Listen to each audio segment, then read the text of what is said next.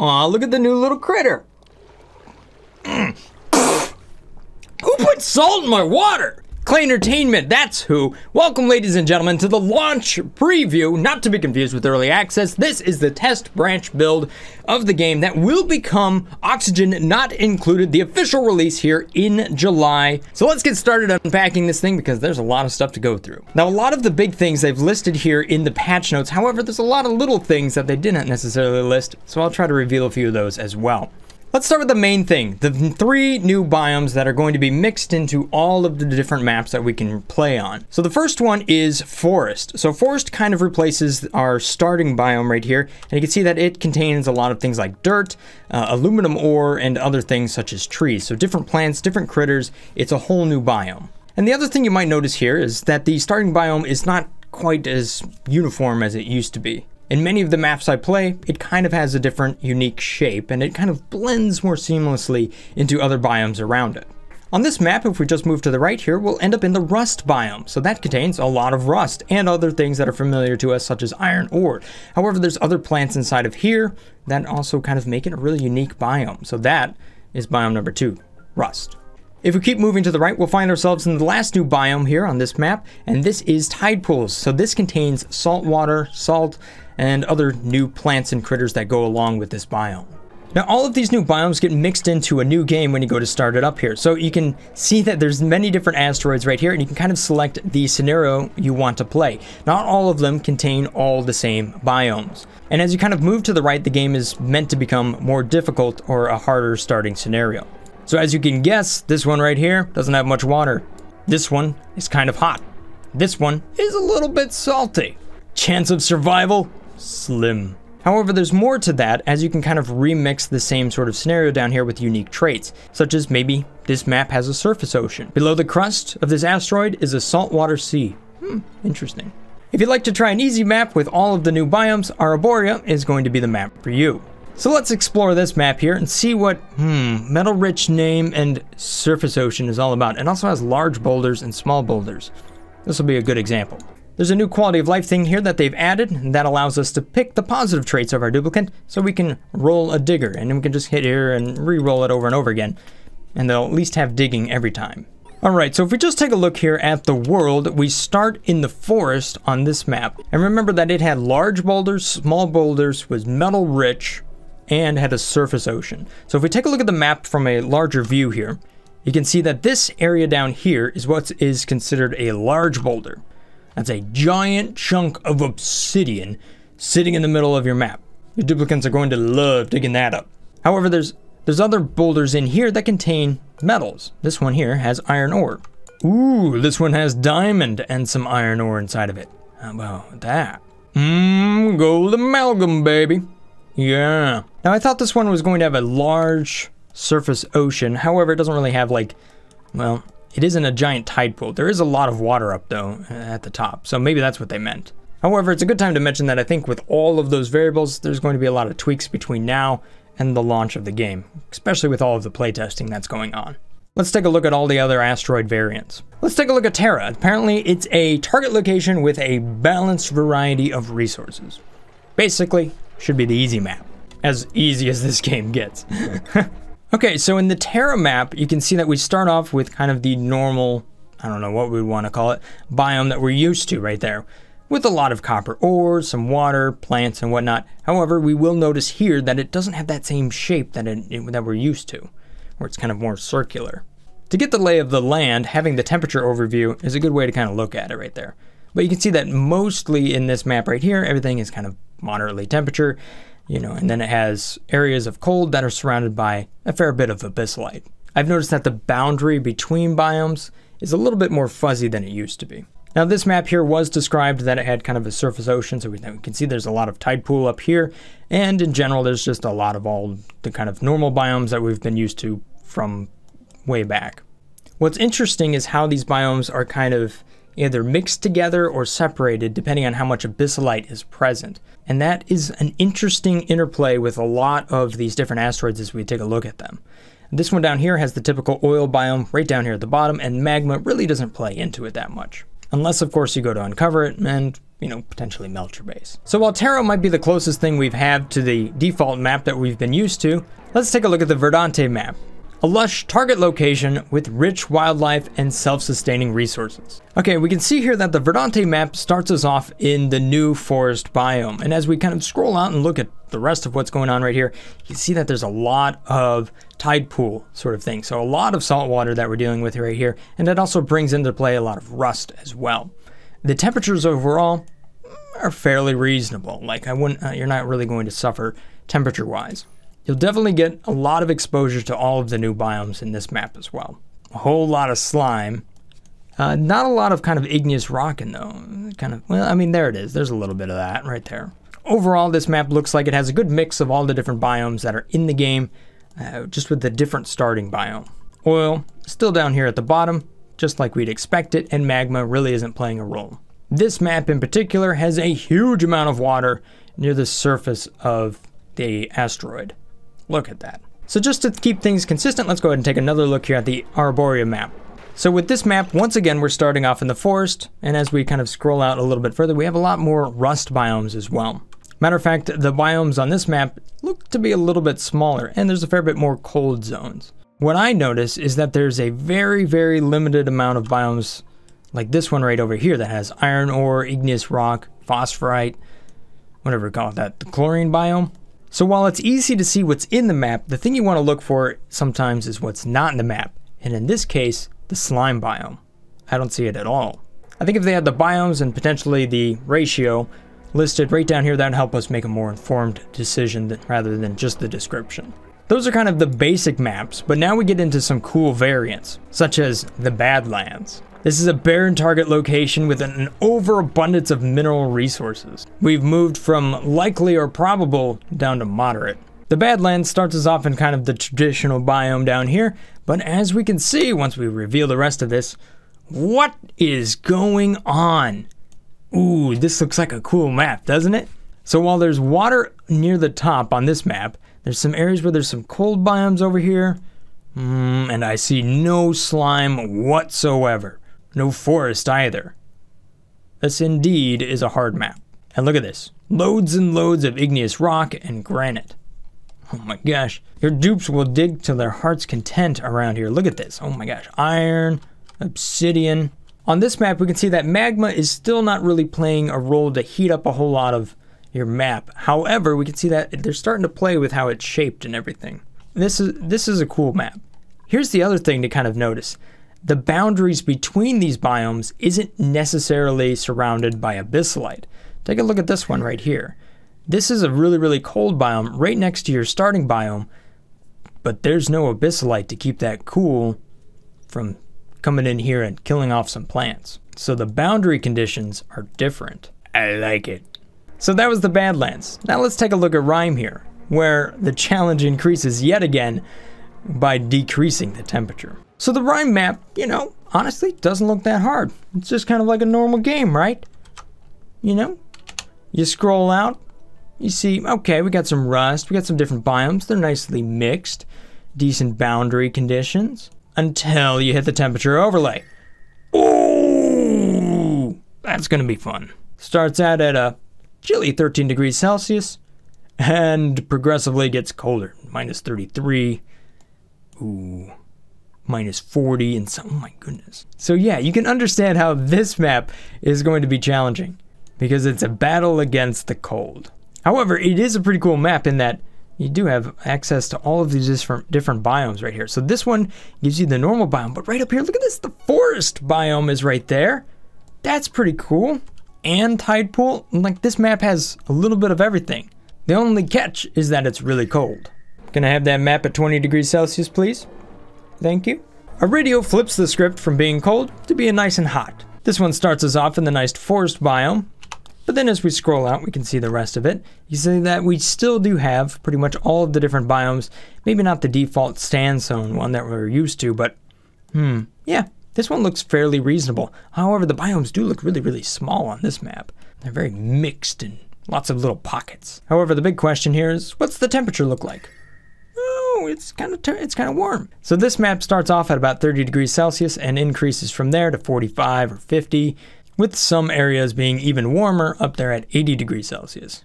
Woo. In my personal opinion, this one doesn't look quite as hard as I, as I would expect. So it's definitely hot, but it isn't quite unbearable. You'll need to flush a lot of heat away, which kind of sounds like a really fun map to play. So chance of survival is marginal, but now we get into the really creative maps. So this brings us to the next map here, which is the Oasisse. And in my personal opinion, I think this might be the hardest map of them all. It's described as a desolate target location with a cache of life-sustaining water trapped beneath the surface. However, I would describe it as a digging death trap. Look at this. So you have a forest biome that you start off with, and then you're surrounded by a massive amount of sand. Like a massive amount. Look at, would you look at this? Look at all of this sand. Are you kidding me? Your duplicants don't stand a chance. They're going to bury themselves alive over and over again. Now this map looks really cool in that you start off in the forest and it's surrounded by a lot of sand, which might as well just be considered a sand biome. Is that another biome? Klei, did you sneak a fourth one in? Maybe? Kinda looks like it. This looks like a cool map though, in that we have some tide pools over there, we also got some slime biomes. Uh, the one thing that you don't have is an oil biome down here at all. There's just none of it. So, hmm. So that makes things kind of interesting now, doesn't it? I like it. This is a neat map but not an easy one. This brings us to Volcena, which is, in my opinion, aesthetically the coolest map that they've created in this game. A target location rife with molten lava pockets and intense heat. Chance of survival? Slim. Of course, if many of you are thinking, wow, my chance of survival is already quite slim, then you may not want to try this map. Because while it may look normal at first glance, it is anything but that once you take a larger look at the map, Ooh, you have areas of obsidian with magma inside of it. How cool is that? That looks pretty neat. Now here's the thing. Depending on how the map generates, not all of that magma is always going to be trapped behind abyssalite. So, things can get a little toasty. Matter of fact, we had a previous version of the game where the magma was not trapped behind abyssalite. And yeah, it got really, really toasty. So yeah, you can see how this map plays out. That is neat. That is super cool. And look at this. Look at how much space there is up here at the, at the top. Oh, they're playing around with how much space there is. Oh, that's cool. So not only can you dig up here, but you have to be careful of where you go. Otherwise, you might accidentally vent your base into space. Hmm. Let's take a look at the temperature overlay because it's it's not all cool. Matter of fact, it's quite hot. It's a lot of hot. Look at this. So we got magma right here next to a large boulder. Oh, have fun digging that thing up. Life is not guaranteed. Good luck, duplicants. You'll need it. This brings us to the last asteroid variant. I know there's been a lot of them. This is Oceania. So this brings us to the last asteroid variant right down here, Oceania. A target location with vast quantities of a drinkable salt water. Okay, so this map here starts you off in kind of the traditional biome right there, but as we scroll on out and we see the bigger things, you can see that we are surrounded by a lot, and a lot of salt water right there. Tons of salt, all of that stuff right there. So what we don't see on this map uh, which might make it difficult. I was trying to find, okay, what's the thing that makes this difficult? And what I don't see, do I not see rust? So you might have salt, but you don't have rust. Is that what I'm getting at? And yeah, that looks to be the thing that might make this real di really difficult because you're going to have to, you know, use salt water, which means you have to desalinate it, but you don't have rust, so that kind of inhibits kind of the new equipment and how you generate oxygen. I don't know. I don't know. To me, it doesn't quite look as hard as they would claim it to be, but I don't know. You have to play it to find out. So as you can see, there are many different map scenarios to play, and I think that adds a ton to the replay value of Oxygen Not Included. This is echoed by one of the new things down here, which is colony summaries. So with this tab here, we can see all of the different colonies we've had in the past down here. So in the testing terra right here, you can kind of see all of the different buildings I built inside of here, then my duplicants, and over here will be a time lapse of the actual game as you're playing through it. Right now, it doesn't really do anything just yet, but I'm thinking they're working on it, and it might be kind of cool at the at the end, especially if we can export it and kind of upload that. That would be pretty neat. Over here on the right is the different achievements, and these also serve as goals to kind of achieve as you're playing through the game. You've got your major ones right here. So there's kind of a mid-game win, which is to colonize the asteroid. And then there is the very late game win, which is to escape the asteroid. And then there's a lot of milestone goals down here that kind of give you an idea of what all of you have achieved inside of that map. So if we take a look at one of my current playthroughs brought into this new test mode, uh, the Super Dupe Mega Base right down here, you can see how many buildings I've built. I have more ladders than anything else. Although a close second here is insulated liquid pipes and tiles. However, I, I haven't built a lot of drywall. That's just kind of in the game already. So there's that, I guess. So one of the minor things I've achieved here is and nowhere to go. I have eight duplicants that are wearing the non-default clothing. They're all actually in snazzy suits. So when you take a look at the graphs, these should look somewhat familiar as I've actually crafted my progress in this game using mods. You can see things such as the average oxygen output, uh, the average power produced and whatnot, how that's actually gone up over time, the work time. However, this doesn't seem to be balanced per duplicant, so it's not like an average thing. So travel time is still is still kind of weird. Like I said, it's interesting, but it isn't particularly useful. As mentioned in their patch notes, there's some stuff for mods that might allow them to make even better mods here in the future. So we'll just kind of have to see how that all progresses. So far, people have done some really awesome stuff. Okay, so here we are in a test map. Let's take a look at some of this new equipment that they've added to the game. One of the machines down here is the rust deoxidizer. So this is a new way to produce oxygen. It uses salt and rust in order to create oxygen and chlorine. So it runs at a fairly efficient 60 watts right there and produces 570 grams of oxygen and 30 grams of chlorine. That's a neat piece of equipment and it's very similar to the electrolyzer, so we may have to filter that gas in some creative ways. Speaking of salt, one of the other machines that we have down here is a desalinator. So what this does is that it, it takes in salt water and it will actually output clean water. So it's a lot like a water sieve or a carbon skimmer, but for salt water. And this works with either brine or salt water. So that's actually two different liquids that are now in the game. If you take a look at the different properties here, what we have with salt water is that it is 98% water, 2% salt. However, brine is 80% water with 20% salt. The two ways that I know of of how to actually separate the water from salt is either using a desalinator machine or heating it up to the point where it actually boils off. And they have different temperatures that they will boil at too. These have different properties. You can see the thermal conductivity of brine is 0.6, specific heat is 3.4, specific heat of salt water is 4.1 with thermal conductivity of 0.6. So a little bit different right there and they boil at different temperatures, but it's all pretty close to water or polluted water. Now what happens if we drop salt into water? Does it become salt water? Well, so far it doesn't look like it will dissolve in water uh, as we might expect in the real world. So in game, if your dupes were to accidentally drop salt into water, I think the two will stay separate. So if you wanted to make salt water for some reason, I don't necessarily know how you would actually do that right now. And as expected, there's also going to be a new geyser for salt water. Getting back to the desalinator over here, you can see that this equipment uh, moves water at about 5 kilograms or 4.6, and then the rest of that is kicked out as salt. And that operates at 480 watts. So, Eh, it's fairly reasonable. Since we're on the topic of salt, salt plays a major role in many different things. We saw it already in how it pertains to water, but the Dasha salt vine right over here actually consumes chlorine, which is why I have it under the deoxidizer right down here, and it turns it into salt. Now, salt can be crushed via the rock granulator into table salt, which then can be used at a mess table in order to improve the quality of food by one morale. So while table salt can be used to improve the quality of our food at the mess table, it also leads us into the gas range right down here, which has many new recipes for us to explore. It's a higher tier food category beyond the electric gas grill. Now the gas range has new ingredients for us to explore. It's a tier above the electric grill in that we can do things like mushrooms wraps, sushi. You can also see barbecue is in here as well. So a lot of these are very high quality foods, such as great, anywhere from plus 3 to plus 5 quality of food. Now the disadvantage of this machine is that it uses quite a bit of resources.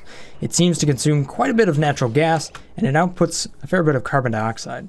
So with that in mind, one big change to the game is that barbecue is no longer available in the electric grill. So this brings me to the next piece of equipment right down here, the wood burner. It's a new way of generating power inside of our base. The wood burner produces a fair bit of carbon dioxide, generates 300 watts of power, and consumes lumber at 1.7 kilograms a second, which right now I don't think are going is going to be the final numbers because it doesn't really seem to be that well balanced with its main competitor, the coal generator.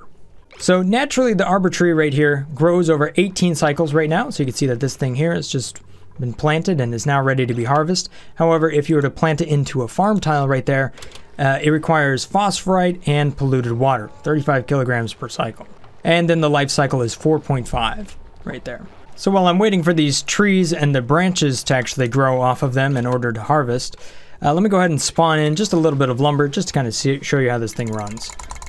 There's a, a couple of pieces of equipment that actually use lumber. Not only the wood burner, but right down here, the ethanol distiller. So the ethanol distiller consumes lumber and it outputs a new liquid that we have available to us, ethanol. Now I think ethanol liquid is going to be quite useful because it's a highly flammable liquid. So I was actually able to power a petroleum generator using ethanol as opposed to petroleum, which makes the petroleum generator more viable on some of those maps where we don't necessarily have that oil biome available to us, or it might be very, very small.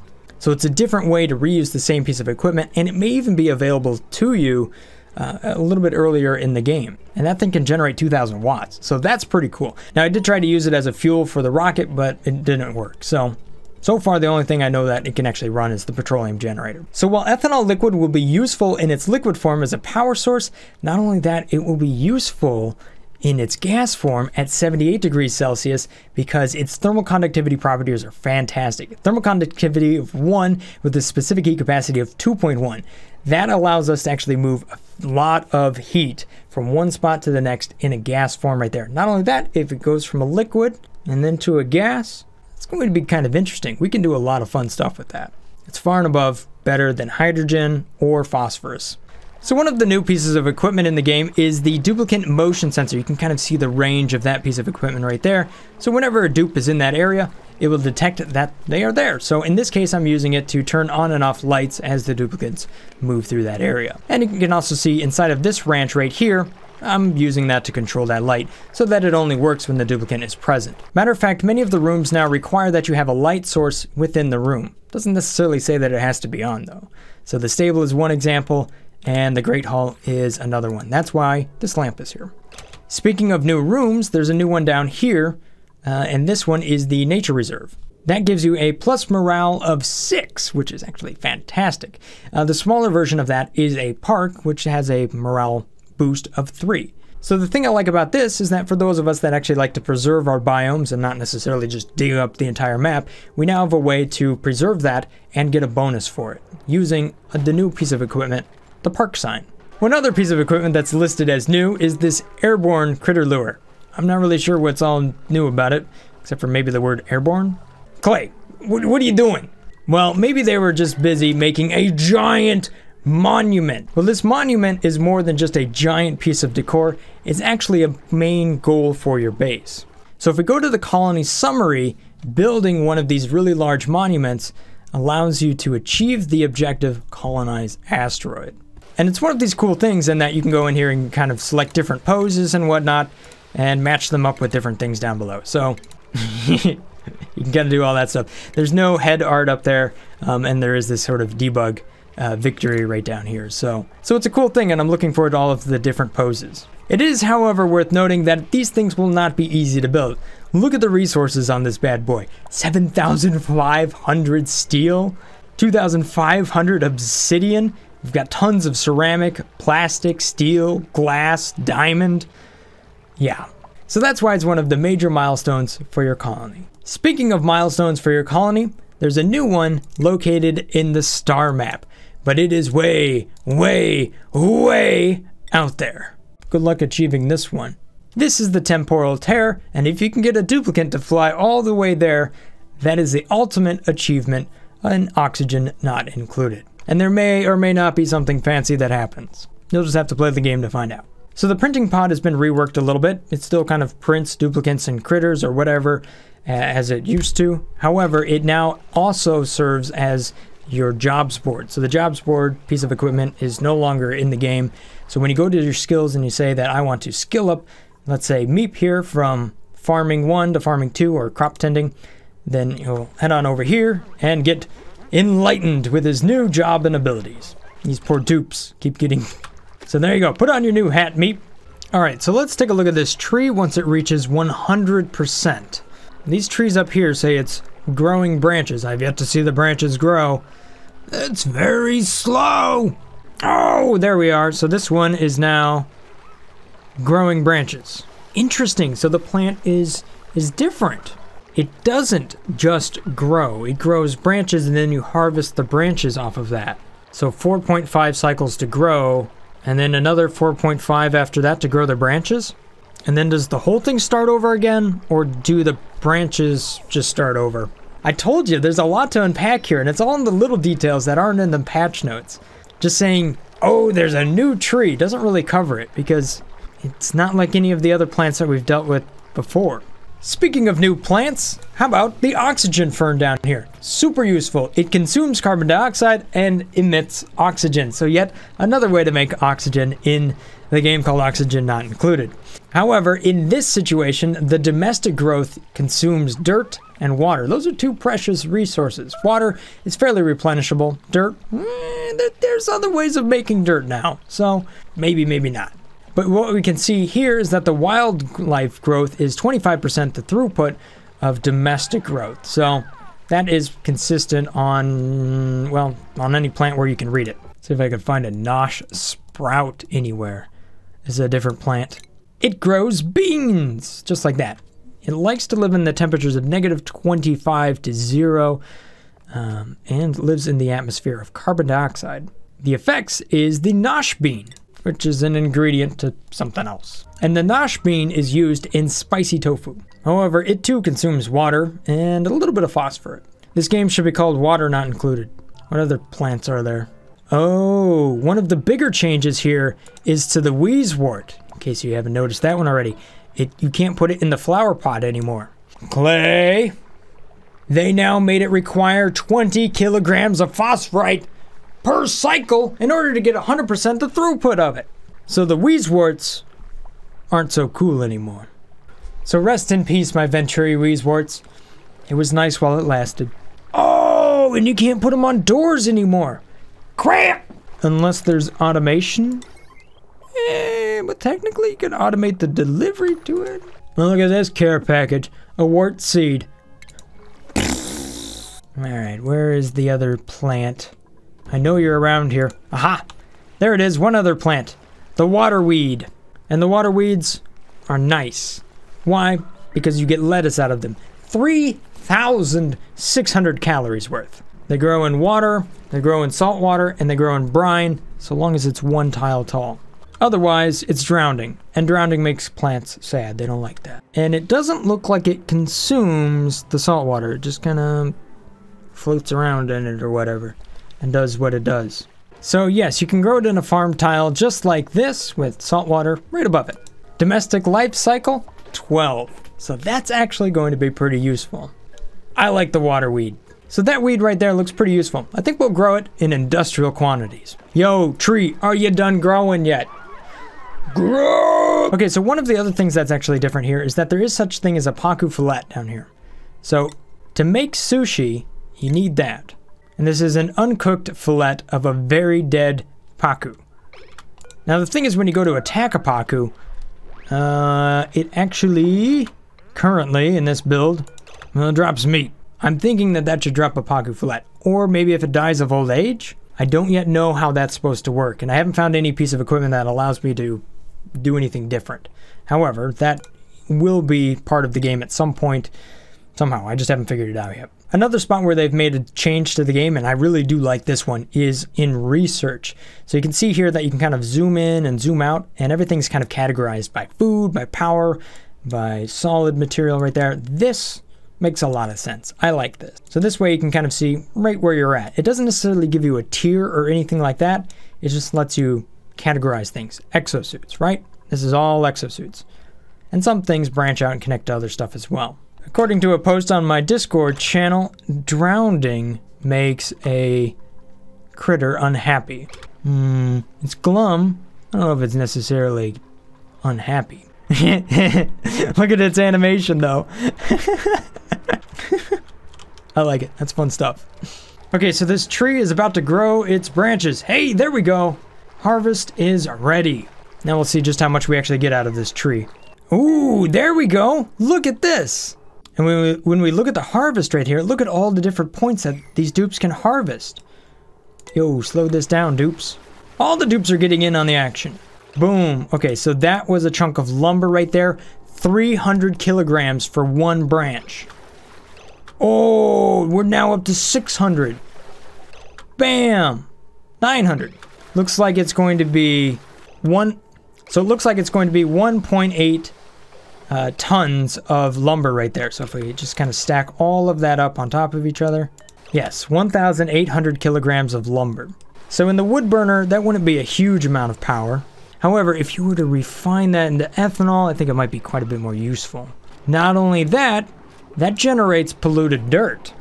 Mmm. So that consumes water but generates polluted dirt. Polluted dirt is then reprocessed, plus you run it to the petroleum generator, which gives off polluted water.